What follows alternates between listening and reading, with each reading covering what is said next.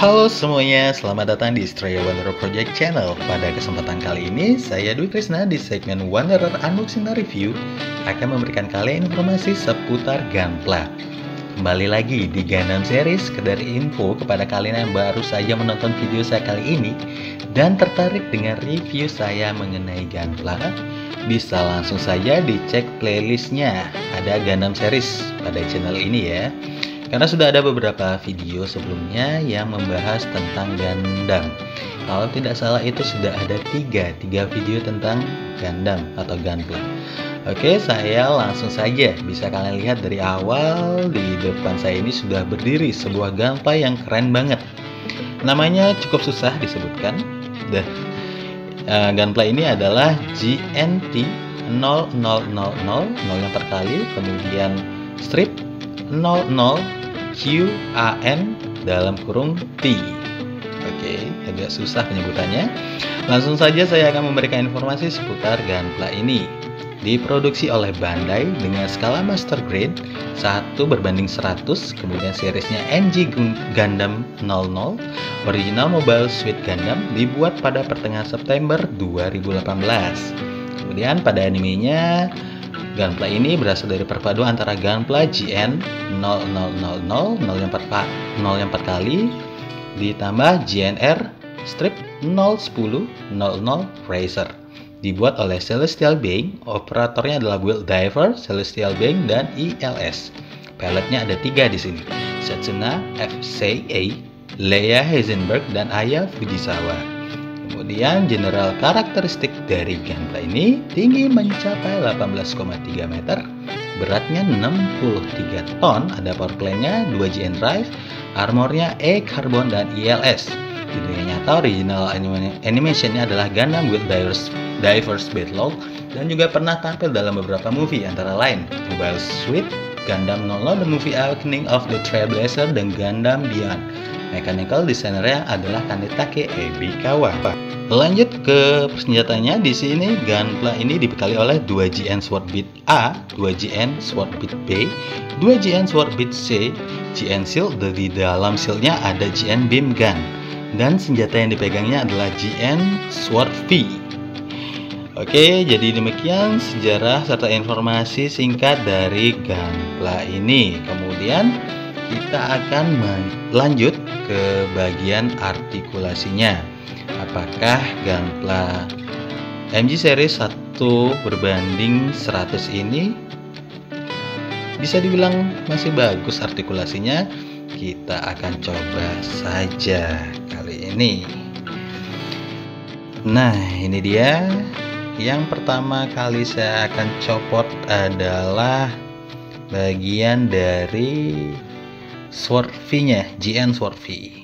Kemudian kita mulai dari bagian atas, mulai dari bagian kepalanya. Di sini saya menganggukkannya dan menggelengkan kepalanya.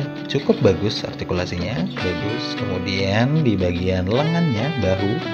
Itu saya putar 360 derajat. Di bagian sikunya bisa ditekuk seperti itu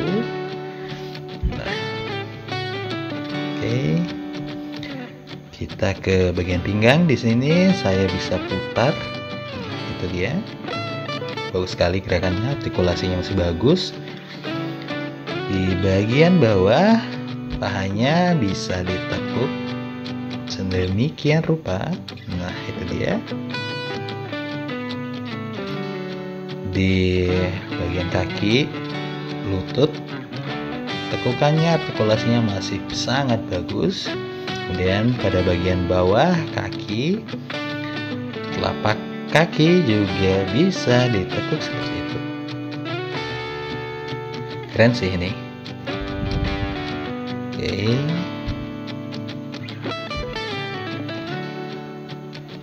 Kita sekarang beralih ke backpacknya.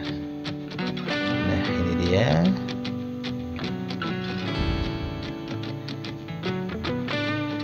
saya akan coba untuk hmm, membuka backpacknya. Nah artikulasi dari backpacknya. Bagian kalau nggak salah ini cockpitnya ya. Seperti itu. Ini juga bisa berubah menjadi pesawat nanti. Oke saya membukanya.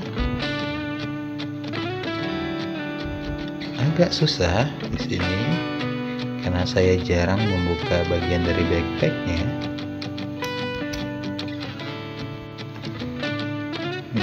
dia saya taruh dulu. Kemudian dari bagian backpacknya itu bisa disatukan ke dalam swordnya.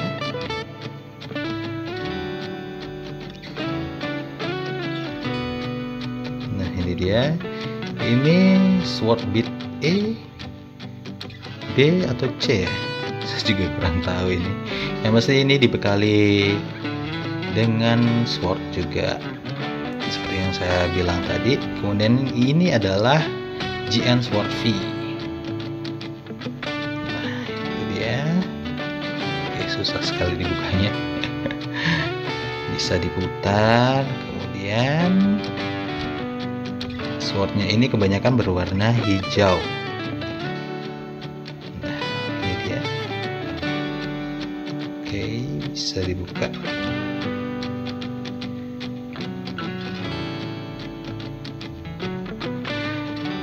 sebentar saya coba buka dulu. Ini dia. Saya pasang saja lagi.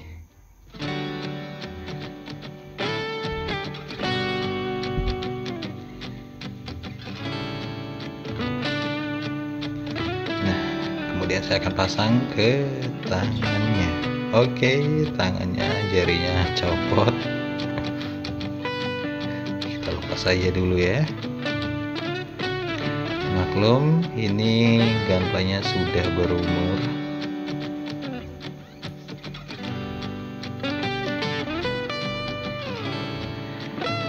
Oke terpasang. Kemudian setelah ini kita akan masuk ke bagian dari detail dari bagian-bagian gunplay ini tampak depan, belakang, samping, kanan, dan kirinya Oke, selamat menikmati.